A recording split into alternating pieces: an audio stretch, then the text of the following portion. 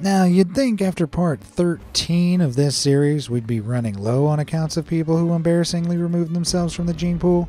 And yet, unbelievably, here I am again with even more stories of idiots that ended themselves in the dumbest ways possible. From attempting to French kiss a rattlesnake to laughing in the face of gun safety, here's part 14 of our never ending Darwin Awards.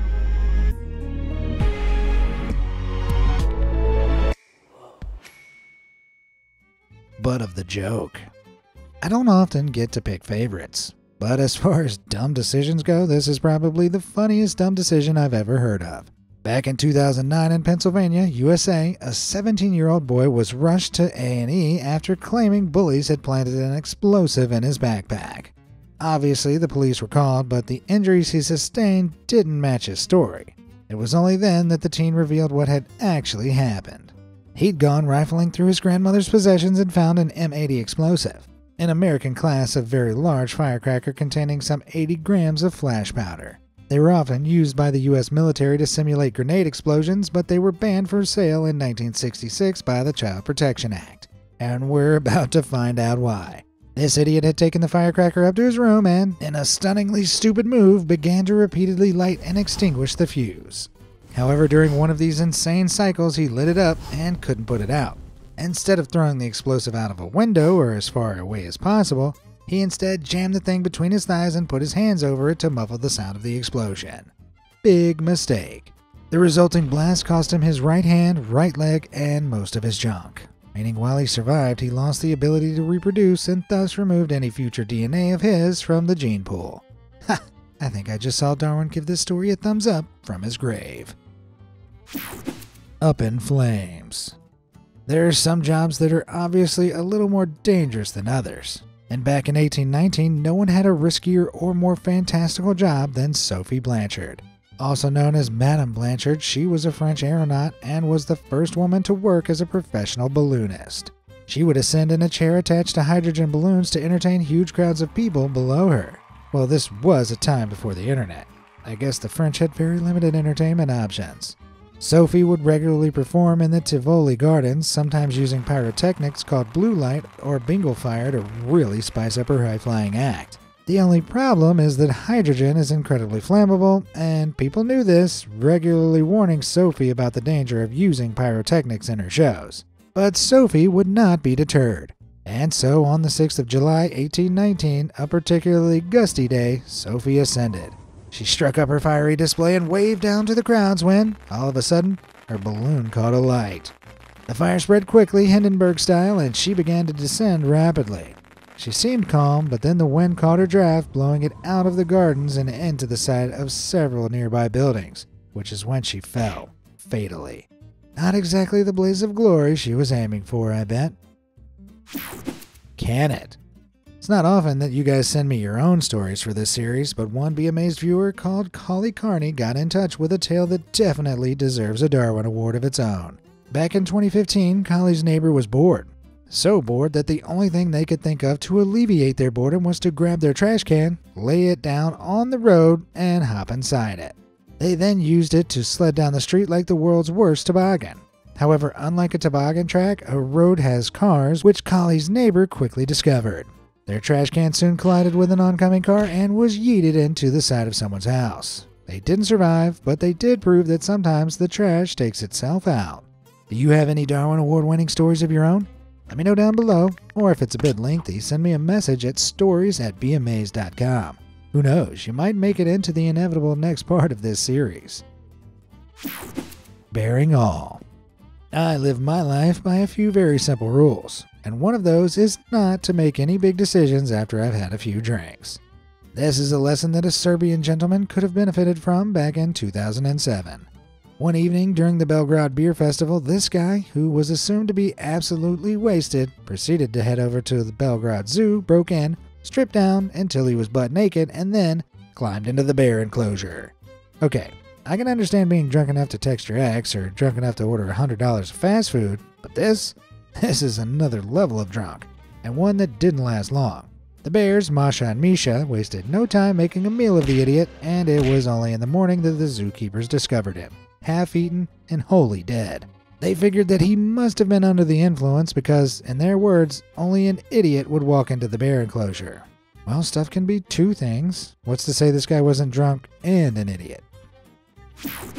Good boy. Back in 2002, on the 29th of July, a TV channel in Ukraine reported on a story from the suburbs of Luhansk that nobody watching could believe. Late that evening, a deputy of the local administration board had been out walking his dog when he encountered a young police cadet. The cadet was escorting two women home in the dark and noticed the dog wasn't on a lead or wearing a muzzle. So, doing his duty, the cadet informed the deputy that what he was doing was illegal. The deputy, having been upstaged so publicly, began to argue with the cadet. Things were getting tense, but the situation really escalated when the deputy suddenly revealed he had an RGD 5 grenade, pulled the pin, and hurled it at the cadet. Very rational response there. But because his dog wasn't on a lead or wearing a muzzle, the deputy's faithful four legged friend ran to retrieve the grenade like a ball and brought it right back to him. The master and dog, sadly, both met an explosive fate. Man, that's rough. Hot shot. There aren't enough considerate car thieves in this world, if you ask me, unlike our next Darwin Award winner. Rather than just stealing cars and abandoning them when they were reported stolen, one car thief in Pittsburgh would also set fire to them, reasoning that this helped the owners claim insurance. But this horrendous habit would eventually become his own downfall. Back in 1998, our carcinist and a few friends decided to steal an old van that wasn't in the best of shape. Soon after, it was reported stolen to the police, so as usual, he planned to set the vehicle ablaze by lighting a fire in the passenger seat. However, he didn't know that the door handle on the driver's side of the cab was broken, so when he tried to get out, he quickly discovered he was trapped. His friends tried to get him out, but the door was locked and the fire quickly burned out of control. Police found him the next day. Apparently, he was charred to a crisp. Sorry, charred to a crisp. Idiot confinement. We all know at least one person who just cannot live without attention. Aside from being impossible to satisfy, they often don't know when to stop much like this next award winner. Back in 2015, a Croatian criminal who'd been jailed for repeatedly threatening his ex girlfriend was put in the prison's solitary confinement section for bad behavior. Not a fan of his new padded pad, he decided to force the guards to pay attention to him by pulling out a lighter he'd smuggled in and setting fire to the cushion pads lining the walls, ceiling, and floors. He expected the guards to come back to get him out immediately, but 20 seconds later, no one was coming. 40 seconds later, he was still on his own, and the fire was growing. After a minute, he began to panic as the room was starting to fill with smoke and flames. All too late, he realized he'd set fire to a room that was completely flammable, and the guards simply wouldn't notice in time. Well, that's one way to serve a life sentence. Man versus tree. Back in 2004, police were called to the scene of an accident around the back of a house in Georgia, USA, that left them, in a word, stumped. A large tree had toppled on top of a truck, both of which were charred and smoldering. Inside the truck was a body burned beyond recognition, but the entire scene didn't make any sense. The tree had fallen onto the truck instead of away from it, which is what they would have expected if the two had collided. But why would they have collided behind a house? And what had started the fire? Slowly but surely, the puzzle pieces came together. It appeared that the gentleman behind the wheel of the truck had been attempting to remove the tree from the yard by tying the truck to the tree and flooring it. He'd assumed the tree would use some sort of cartoon physics and fall away from the truck, but because we live in reality, the tree fell in the direction of the applied force and landed on top of the truck, crushing the driver. The engine overheated, setting both the truck and tree ablaze, and the rest is Darwin Award winning history. Getting shredded. Hiring a tree surgeon to trim back or cut down your trees can be expensive, but doing the work yourself can end up costing even more, as one man found out back in 2008. Instead of paying a professional, he'd hired an industrial tree shredder and placed it at the base of an old oak tree in his yard which had recently been struck by lightning. He was planning on cutting away the dead section of the tree himself by climbing up and trimming it away, dropping any stray branches down into the hopper beneath him. Only thing was, he hadn't used harnesses, safety equipment, or, well, anything to secure himself to the tree. So, entirely unsecured, he clambered up the ladder, stepped out onto a branch, and began cutting away when suddenly he lost his footing and fell straight into the shredder. Yikes. Well, on the plus side, I bet he made for a very moist mulch. Claymore Cretans. Cambodia has seen its share of violence and explosions following the historic and horrendous Cambodian Vietnamese War. But in 1999, 10 years after the war ended, an explosion in a cafe in Svay Rieng province caught the attention of the tabloids. According to witnesses, three regular frenemies were drinking heavily at a cafe and exchanging insults with one another when one of them, clearly disgruntled, suddenly pulled out a Claymore landmine and threw it under the table. He drunkenly explained he'd found it in his backyard and wanted the men to play the ultimate game of Russian roulette with it. While the other, much smarter patrons were fleeing, these three intoxicated idiots took turns stamping on the pressure triggered explosive in an attempt to set it off. Several minutes and stamps later, the bomb detonated, taking all three men with it. Well, they say you can take out two birds with one stone, or in this case, three idiots with one landmine. Leveled Crossing April 15th is a pretty important day in the US calendar. Why? Because that's the most common day of the US tax filing deadline. But back in 2001, this fell on a Sunday, meaning there were limited post office hours available to send off any last minute tax documents before the IRS came knocking. This was something a man from Tennessee desperately wanted to avoid, and so he was in his car racing to the post office in the hopes of submitting his taxes on time. But as he was driving, he noticed a slow moving train heading for a crossing which would have blocked his route for several minutes at least. In an attempt to avoid this, he floored it and sped over the crossing just before the train reached it. But as he did so, crash! Another car racing from the other direction was also trying to beat the train, and the two collided. One driver perished and the other was wounded, but by some cosmic miracle, the crash occurred just to the side of the tracks, so the train passed by unimpeded, and no passengers were injured. Well, I guess these idiots prove that trying to beat an active train crossing is taxing, to say the least. Getting airtime. If you've ever been to Holiday World and Splashin' Safari in Indiana, USA, then you probably know the Raven. This big old bird themed wooden roller coaster has a peak height of 110 feet and a top speed of 50 miles per hour. Not exactly the tallest or fastest coaster out there, but still super fun nonetheless. However, back in 2003, one woman made a supremely dumb decision in a bid to really get her adrenaline pumping. Riding the Raven with her fiance, the pair of roller coaster enthusiasts had their lap bar and seatbelts checked by staff before the coaster set off. But a few moments later, she undid her seatbelt, tucked the two sides into the cushions of her seat, and wriggled out of the lap bar. She wanted to stand up as the coaster went down the drops in a bid to catch what roller coaster enthusiasts refer to as airtime. But during the fifth drop, which was some 69 feet high, she lost her footing and was sent tumbling over the edge to her demise. Gee, it's almost like the safety restraints were there for a reason. Dog Days. In my opinion, people who hurt animals on purpose belong in a special circle of hell. And as it would happen, this next story, while involving a dog who was likely abused by its owner, ends humiliatingly for said owner. That means I get to immortalize him here for the entire world to laugh at. So let's rewind to 2008 and head over to upstate New York. Here, a 50 year old man was bird hunting alongside a few of his buddies, with his faithful canine companion at his side. Suddenly, the dog found a deer leg bone and began chewing on it.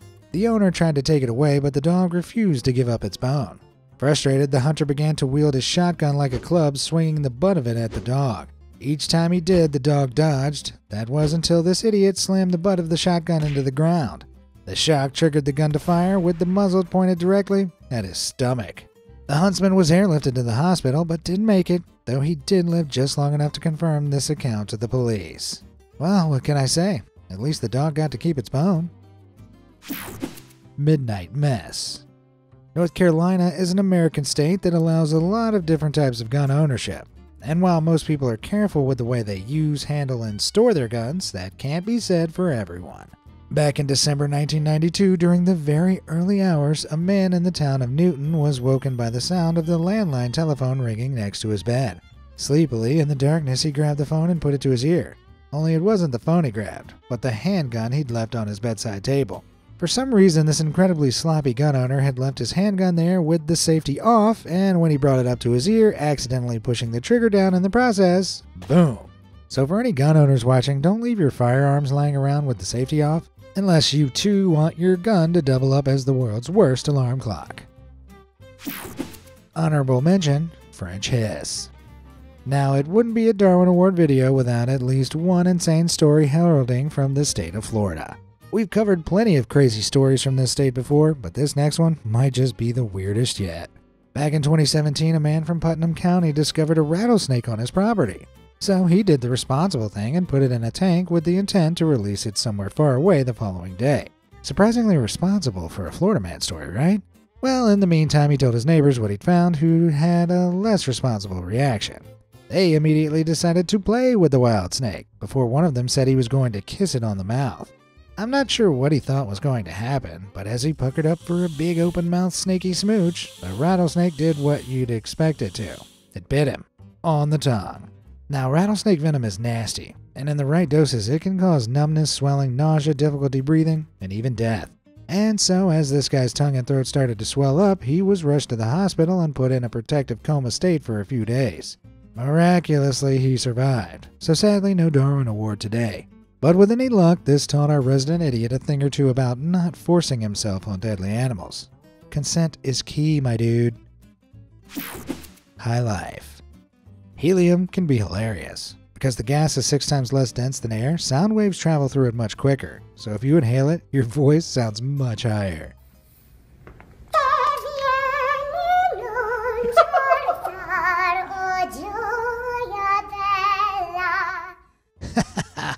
I could listen to this forever.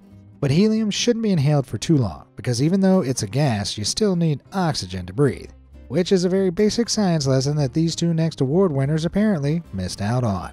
Back in 2006 in Tampa Bay, Florida, two 21 year olds spotted a huge promotional balloon 8 foot in diameter used to advertise condominiums for Lakeview at Calusa Trace. It was late and quiet, and so they decided to pull the huge balloon down and get inside it for maximum high voiced humor. They cut it open and shoved their top halves inside as the balloon gradually deflated, enjoying the squeaky high notes. But it didn't last long. You see, when our lungs are filled with helium, it means we're not filling them with oxygen, which our organs rely on. Depending on how much helium is inhaled, a person can lose consciousness quickly and die from lack of oxygen, also known as asphyxiation, which is exactly what happened. Dizzy and confused, these two idiots lost consciousness and were only found the next morning when a local sheriff spotted the bottom halves of their bodies sticking out from the deflated balloon. Well, at least they ended on a high. A burning problem. Now, I really respect volunteer firefighters. It's a pretty thankless job that requires an immense amount of bravery. But being brave and being stupid aren't mutually exclusive terms, as the Sequoia Volunteer Fire Department in Tennessee proved back in 1999.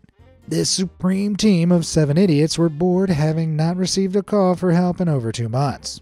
And so they started up a dangerous habit of using gasoline to light fires in vacant houses in a rural part of Chattanooga. They'd then rush in, put out the blaze, and pretend to be heroes. But this incredibly dangerous ruse all fell apart one day when one of them, who was spreading gasoline in the attic, didn't realize the others had already started the blaze. The fire spread so quickly it trapped the wannabe hero in the attic where he met his demise. When the real firefighters and police were called in, they realized all too quickly what had been happening. The six accomplices faced a combined total of 60 years in prison.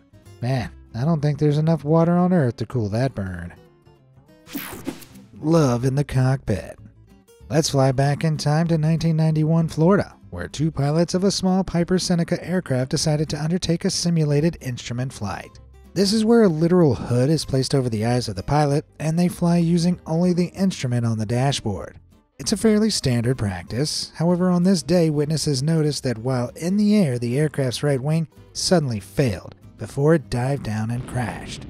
Neither pilot survived. People began to wonder what could have caused such a tragic accident.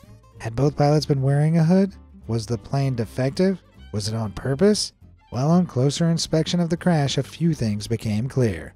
The front right seat was in a fully reclined position, neither pilot was wearing their seatbelt, and both were only partially clothed.